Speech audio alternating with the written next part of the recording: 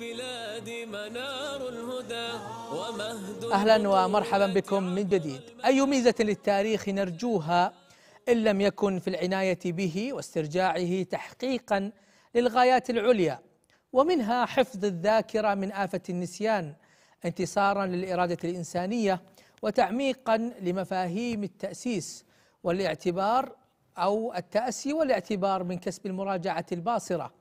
بإعلاء ما هو حقيق بالمحافظة عليه. وأيضا سد الثغرات والمنافذ التي كانت سببا في الخلق. هذه هي دورة الأيام تقترب بنا لأول احتفاء بيوم التأسيس. غدا الثلاثاء بإذن الله تعالى. هذا القرار الذي يحمل الأبعاد المضيئة التي يتوجب علينا أن نقف عندها مليا. ونستذكرها بروية ومكث. ونستنطق ما تستوطنه من معان وأحداث. للحديث أكثر عن هذا اليوم الاستثنائي يوم التأسيس نسعد باستضافة الدكتور سعد العريفي الباحث المتخصص في تاريخ المملكة العربية السعودية.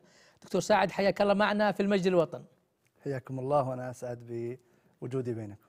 ونحن كذلك بداية ونحن في هذا اليوم الاستثنائي وقبل أن نخوض بالحوار مع الدكتور سعد. نستقبل أيضا مشاركاتكم ومشاعركم في هذا الاحتفال عبر وسم البرنامج على تويتر المجد للوطن. نستقبل عليه تغريداتكم وأيضا كل ما تودون إبرازه وأيضا المشاعر التي تحملونها في هذا اليوم الاستثنائي وهذا الاحتفال بهذا الوطن. دكتور سعد خلينا نبدأ وياك مع الاحتفال بيوم التأسيس. ونحن على بعد ساعات بل نحن بدأنا في المظاهر بدأت من الآن لاكتمال المشهد بشكل كامل. هناك تساؤل ممكن ما هو يوم التأسيس؟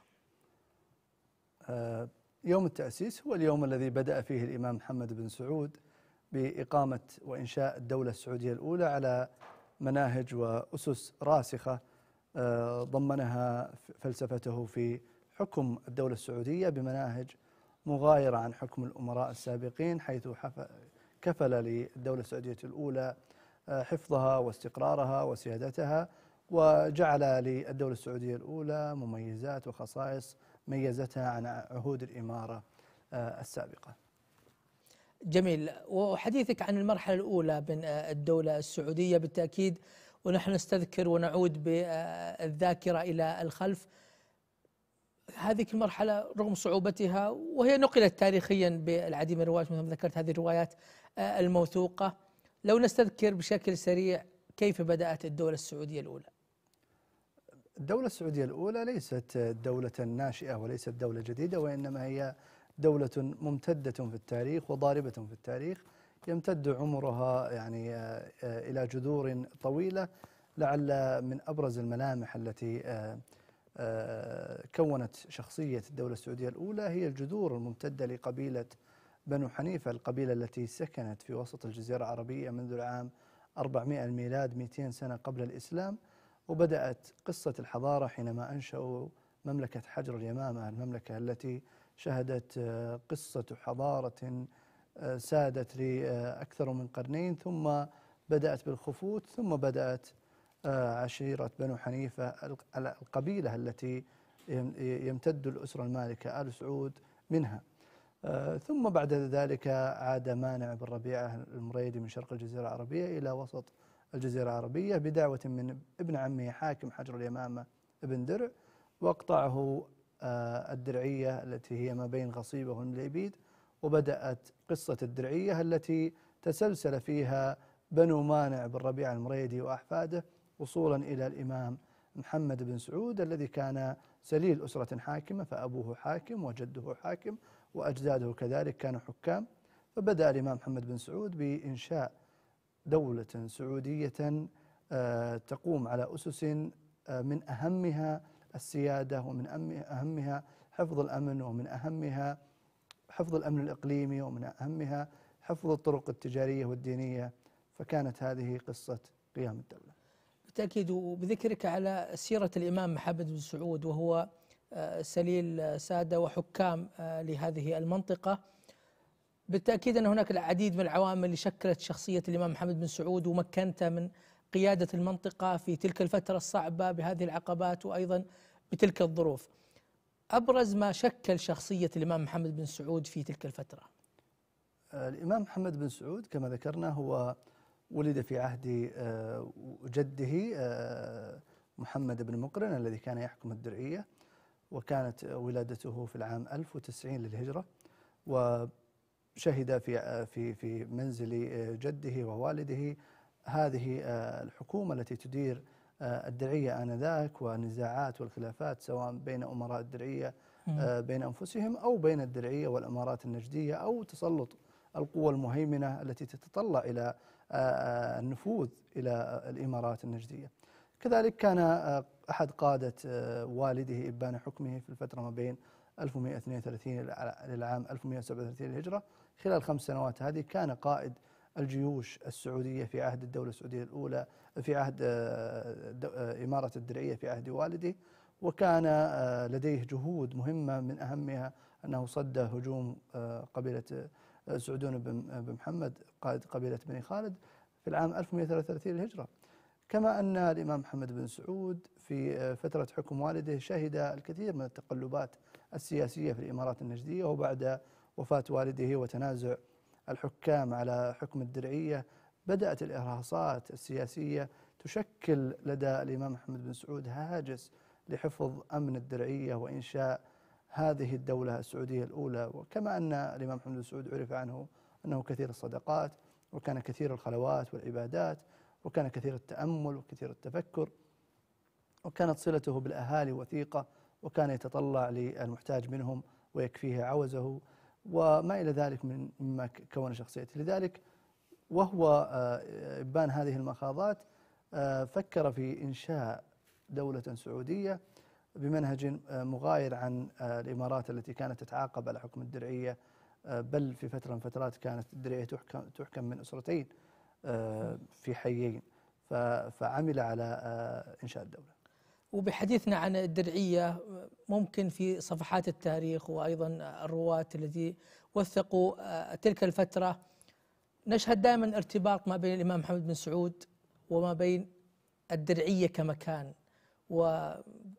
وكبيئة أكيد كان هناك ارتباط وثيق هذا اللي شفناه في صفحات التاريخ. كيف ممكن نوصف هذا الارتباط الوثيق ما بين الإمام وما بين الدرعية كبلدة؟ آه الإمام محمد بن سعود هو من عشيرة الدروع وهذا الاسم الذي جعل مانع بن ربيع المريدي ينشئ الدرعية على اسم عشيرته عفوا الدروع.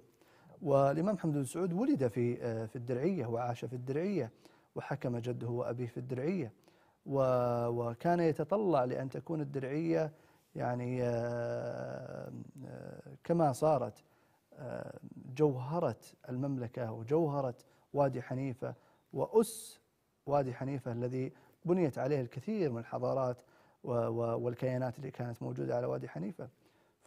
ففي وادي حنيفة كان أكثر من 150 بلد ومستوطنة وقرية كانت آه، تحكم وكانت تعيش وكانت تستوطن هذا الوادي آه، العريق وادي حنيفة على آه، ضفاف جبل طويق جبل الأشم. نعم. صحيح. وهذه مثل ما ذكرت أهمية هذه البلدة الدرعية. الدرعية كعاصمة لكل هذه الفترات التاريخية. ونشهد أيضا في هذه الأيام أيضا الاهتمام الكبير والبالغ من آه، القيادة الرشيدة بهذا المكان كعمق تاريخي للمملكة. وسنأتي للحديث هذا في تالي اللقاء إن شاء الله. لكن خلينا نتكلم عن العمق التاريخي للدرعية وأيضا العمق التاريخي لثلاثة قرون من الدولة السعودية. ما يقارب الثلاثمائة سنة وهذه فترة ما هي قصيرة. صحيح. عمق تاريخي كبير. كيف نستشعر هذا العمق في هذه الأيام؟ في هذه الأيام آه، ينبغي على آه، المواطنين والمقيمين ومن يعيش على هذه الأرض ومن يحب هذه الأرض أن يستذكر في يوم التأسيس الجهود التي بذلت سواء من الآباء المؤسسين أو من آه، الأجداد الذين ساندوا هذه القيادة لجعل هذا الحلم وهو حلم الوحدة التي فقدت في الجزيرة العربية منذ ألف سنة. فكانت الدولة السعودية هي من آه، تزعم هذا الأمر واستطاعت بفضل آه، قيادتها الحكيمة وبفضل شعبها الذي أيدها وساندها حتى عم الأمن أطراف الجزيرة العربية.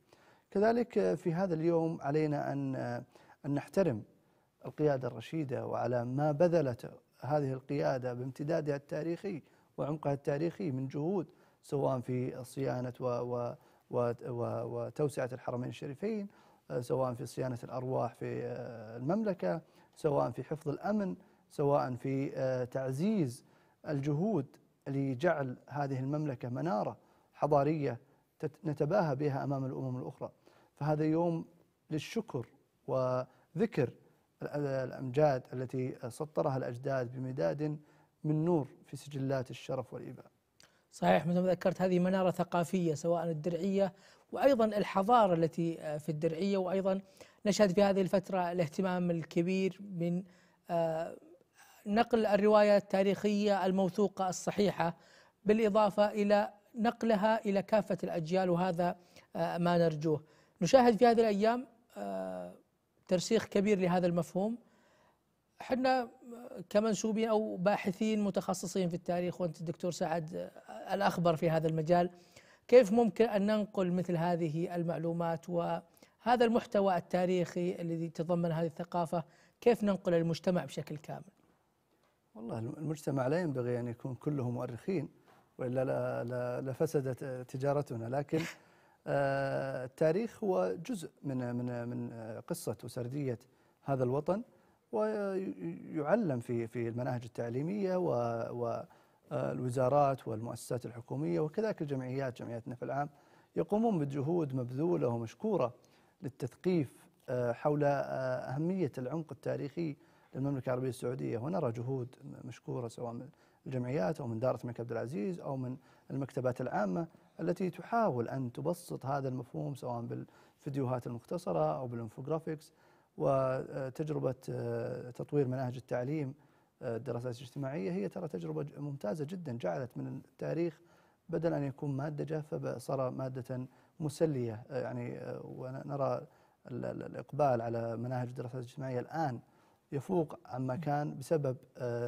تحبيب الناس في هذه المناهج. صحيح. ونحن طال التوثيق وما إلى ذلك من نقل هذه المعلومات التاريخية وأيضا هذه المعلومات اللي قد يكون فيها مصادر ومصادر أخرى.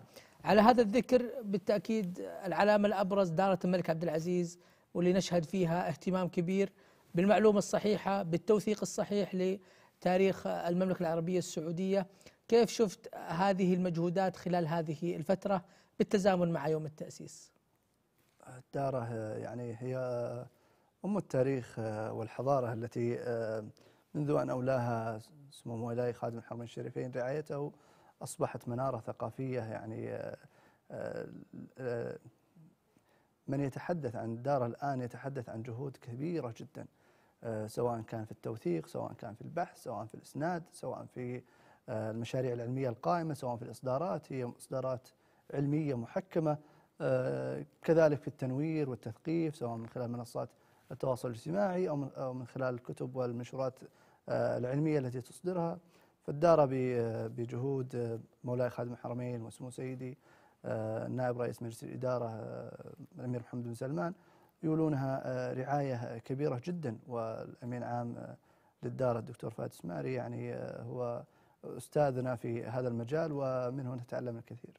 بالتأكيد وجهود الدارة يعني واضحة للجميع صراحة. لا بالتزامن مع يوم التأسيس ولا حتى من قبل ذلك من خلال هذه الأنشطة اللي ذكرتها والعديد من المبادرات والبرامج اللي تنفذها الدارة بالإضافة إلى الإصدارات العديدة على مدار السنة وهذا مجهود من الدار يستحق الشكر للأمانة منا وفي هذه الأيام برز المجهودات بشكل أكبر بالتزامن مع يوم التأسيس واعتماده ك ذكرى سنوية لتأسيس هذه البلاد.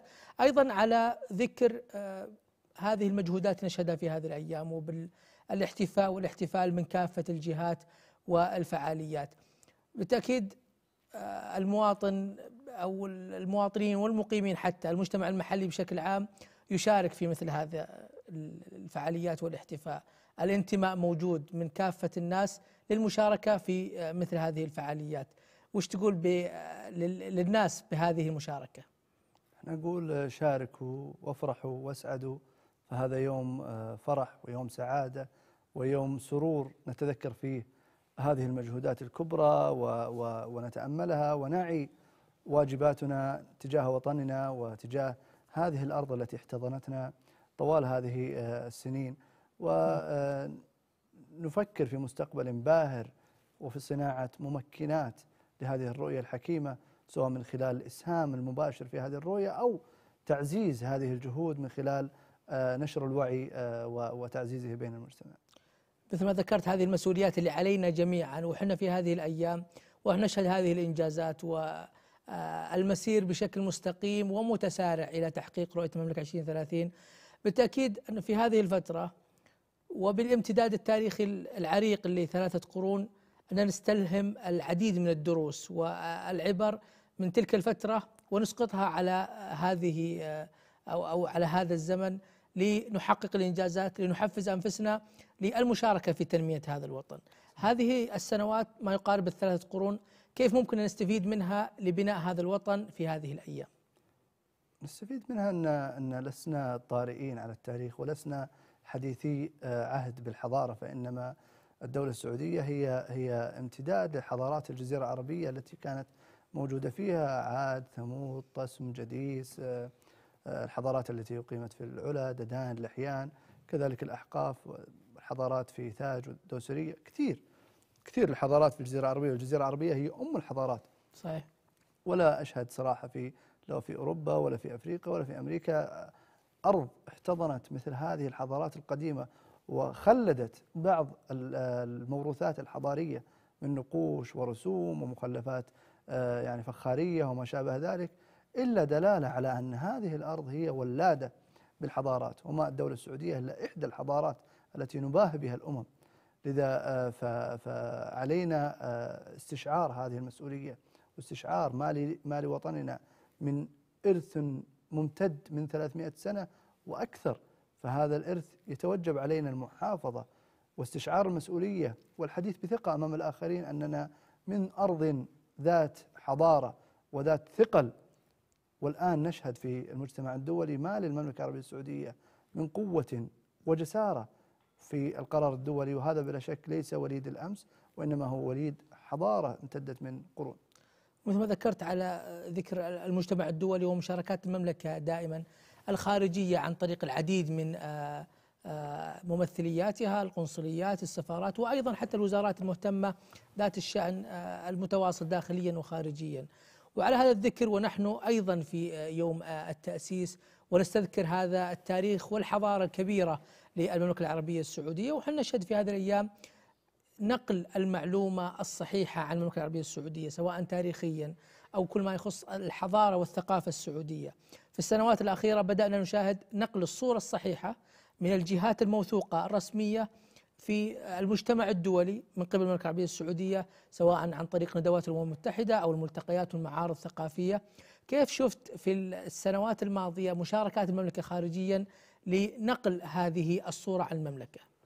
آه، شوهت صورة المملكة كثيرا في الفترات آه، آه، المبكرة وهذا بلا شك يعني من من حسد الأقران فكل دولة لا تريد أن دو أن تطغى دولة عليها ف وكذلك بعض الأجندات التي كانت معروفة من الجمعيات المشبوهة.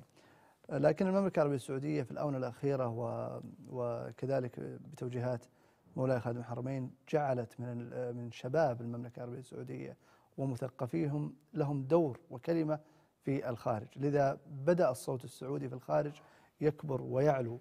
فما أن تبدأ آه، شبهة أو, أو, أو تهمة تلقى فيها آه، سعودية حتى تجد شبابنا لها بالمرصاد. وأدى شباب السعوديين ومثقفيهم على وجه الخصوص دور مبهر جدا في في التصدي لأي تيار من التيارات التي تستهدف المملكة سواء سياسيا أو ثقافيا أو على أي صعيد آه، آخر. كما أن المجتمع أصبح واعي وأصبح مثقف والتقنية الآن كانت أصبحت سهلة والأمية بدأت تنعدم. فهذا بلا شك جعل من المملكة وشبابها ومثقفيها لهم دور مؤثر جدا في تشكيل بعض التوجهات التي آه، تؤثر على الإعلام سواء العربي أو الغربي.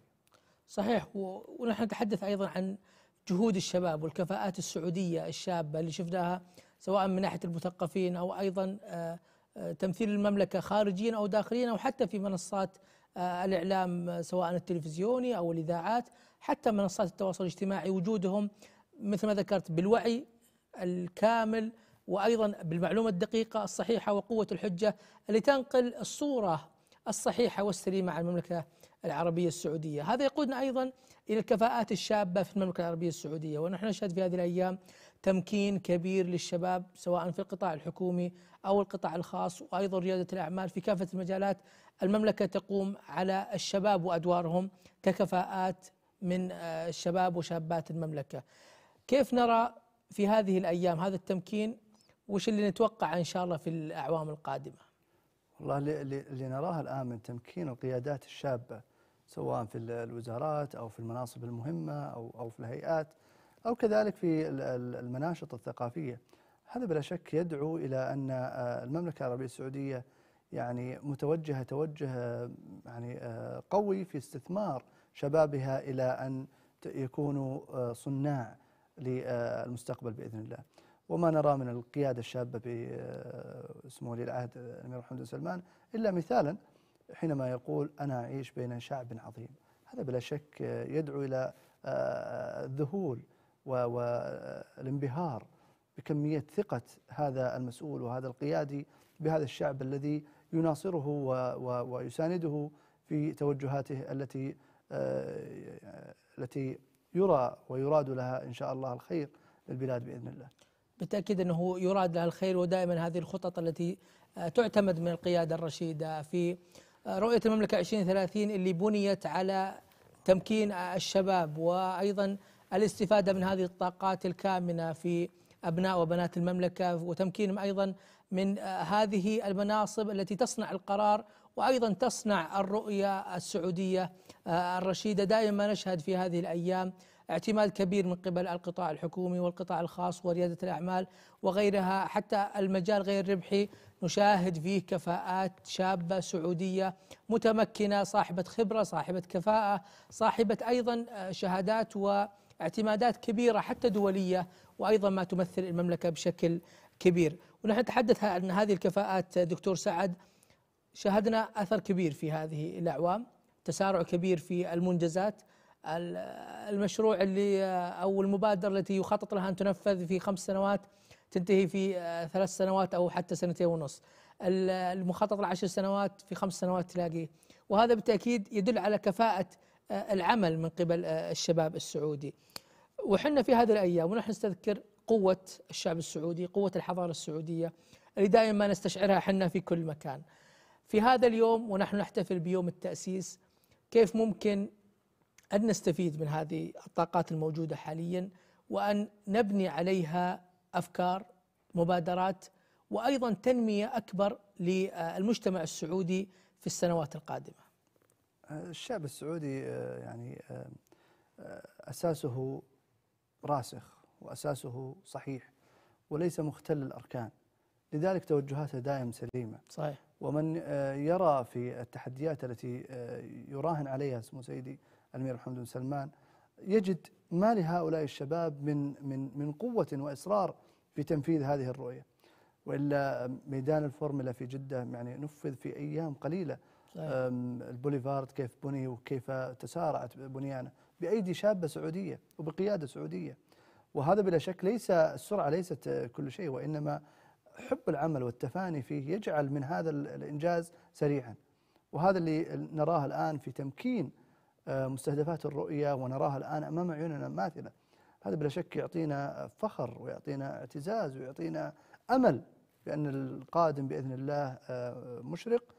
وأن القادم بإذن الله أفضل وأفضل بهذه القيادة وهذه الروح. بالتأكيد أن القادم أفضل ولعلي الوقت مر سريعا علينا لكن آه، خلينا اختم بنقطتين سريعة. إحنا في هذه الأيام ونحن نحتفل بيوم التأسيس. نشاهد هذه الثقافة هذا النشر والترويج آه، لهذه المعلومات التاريخية الصحيحة الموثوقة. نشهد محتوى إعلامي كبير وضخ إعلامي آه، مناسب لأهمية هذا الحدث.